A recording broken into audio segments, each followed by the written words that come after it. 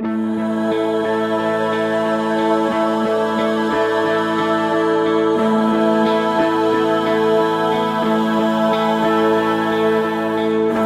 pašu svētāko tu neaizmirsti, vai cēlies debesīs, vai jūras dzelmenirsti, vai draugu pulkā dāli savu prieku, vai viens pats satiecies ar pretīnieku.